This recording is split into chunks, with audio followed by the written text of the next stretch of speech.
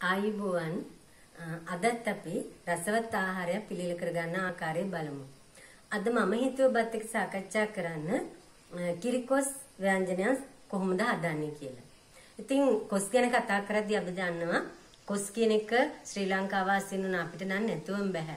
ඒ වගේම කොස් විවිධ වකවාණු වල විවිධ තත්ත්වෙන් පවතින්නේ. මේ දිනවල පැසුණු කොස් තියෙන නිසා පැහුණු කොස්සා තමයි අපි කිරිකොස් වලට භාවිතා කරන්නේ.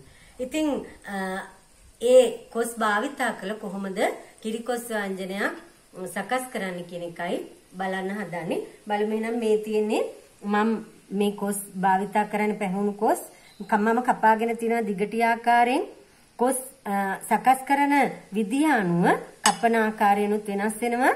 මේ තියෙන කිරිකොස් සඳහා කපන ගන්න විදිය. ඉතින් මේකටම මම කොස්සට ටිකකුත් එකතු කරන් තියෙනවා.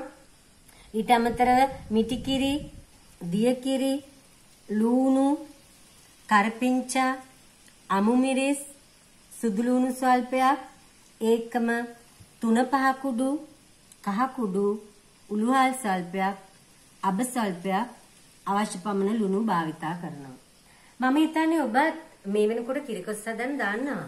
නමුත් සමහරලාට අලුතින්ම උයන්න හිතන දරුවන් සඳහා මේක වැදගත්තේ ඒකම සමහර වෙලාවට අපි එක එක පළාත්වල වියන සකස් ආහාර පිළියෙල කරන ආකාරයත් වෙනස් වෙනවා. ඒ නිසාත් සමහරලාට මේක ඔබට වැදගත්තේ. එහෙනම් අපි බලමු කොහොමද කොස් කිරිකොස් ව්‍යංජනය සකස් කරන්න කියලා. ඉතින් මම මේ වගේ මැටි භාජනයක් තමයි අදත් භාවිතා කරන්නේ. මේකේ ඇට ටික යටට සිටින ආකාරයෙන් මේ වගේ කොස් ටික මේ බඳුනට එක් කර ගන්නවා. ඊළඟට ඒකටම සුදු ලුණු සල්පයක් අමු මිරිස් කෑලි කිහිපයක්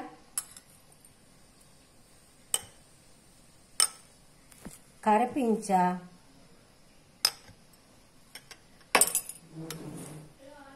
ලුණු ටිකක් එකතු කරනවා.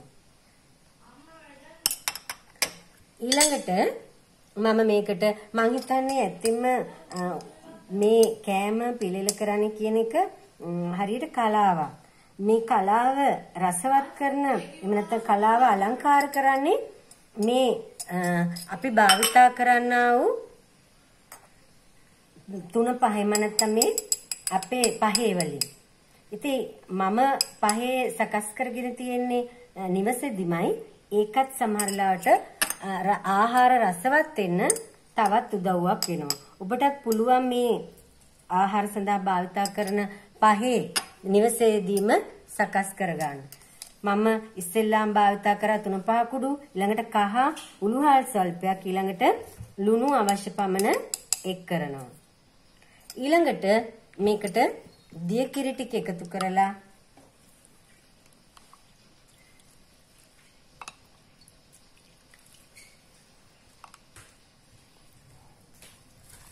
දිය කිරි ටික එකතු කරලා හොඳින් තුන පහ ටික කවලම් වෙන්න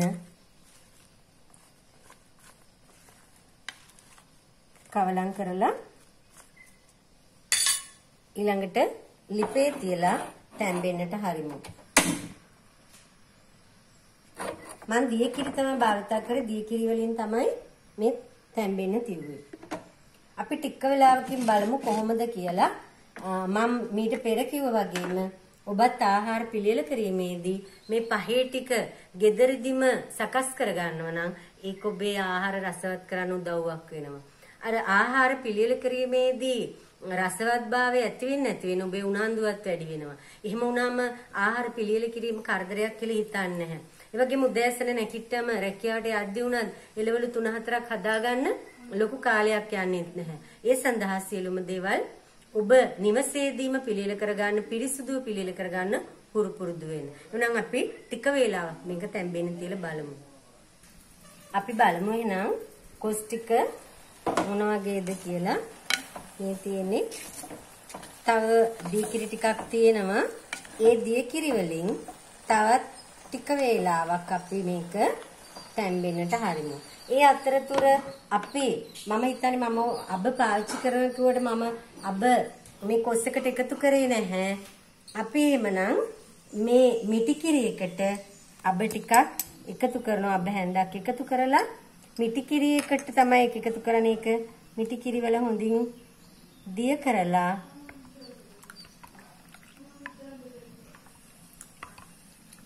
කිරිකොස් ව්‍යංජනයට එක් කිරීම කරනවා. එහෙමනම් බලමු අපි කොහොමද මේ අබ එක් කරගත් මිටි කිරි ටික කොස් එකට එක් කරන්නේ කියලා.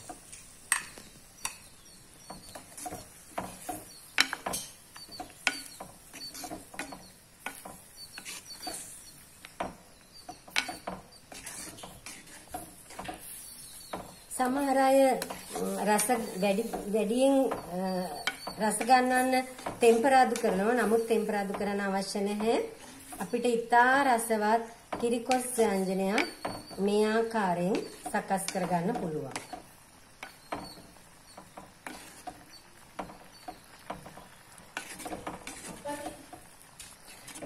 මේ ආකාරයෙන් හොඳින් කිරි ටික නටන්නට දෙන්න. අබ අපි අවසානයේදී එක් කරන්නේ ඒක මේ කිරිකොස් මාළුව හොඳින් උක්කු වෙන්න ඒකම අබ කියන එක ආහාර වලට ගොඩාක් එක් කරන්නේ නැහැ. ගොඩාක් තැම්බෙන්න දෙන්නෙත් නැහැ. ඒ නිසා මිටි කිරි වලට එක් කිරීම තමයි සිදු කරන්නේ. ඉතින් මේ තියෙන්නේ අපේ කිරිකොස් මාළු මම හිතන්නේ මේකට ටෙම්පරාදු කරන්න ඒව මේව අවශ්‍ය නැති තරමටම රසවත් මේ කිරිකොස් ව්‍යංජනය හොඳින් නටන්නට හැර ලිපෙන් ඉවතට ගන්න. දැන් අපේ ව්‍යංජනය හොඳයි ලිප් ඔෆ් කරලා ඉවතට ගන්න පුළුවන්. මේ තියෙන්නේ කිරිකොස් මාළුව. අපි මේක මේ ආකාරයෙන් මේසෙට පිළිගන්නන්න සූදානම් කරමු. ඇත්තෙන්ම ඊටාම රසවත් තෙල් හිම අහිතකර අයට ටෙම්පරාදු කිරීමේ අවශ්‍යතාවයක් නැතුව ඊටාම කෙටි වේලාවකින් කොස් දැන් අපිට මේ දිනවල නැති නැතත් අපිට වෙළඳ පොලේ කොස් මදුළු ගලවලා විකුණන්න තියෙන ගොඩක් වෙලාවට. ඉතින් ඒ නිසා කිරිකොස් මාළුවක් පිළියෙල කරගන්න ඒ තරම් වේලාවක් ගත වෙන්නේ නැහැ. මේ තියෙන මම පිළියෙල කර කිරිකොස් මාළුව මම හිතන්නේ ඔබටත් මෙවැනි රසවත් ව්‍යංජනයක් සකස් කර ඔබේ නිවසේ කෑම මේසය අලංකාර කරන්නත් ඒ වගේම රසවත් කරන්නත් පුළුවන් වේවි. ඔබත් උත්සාහ කරලා බලන්න. එහෙමනම් බොහොමත් ස්තුතියි.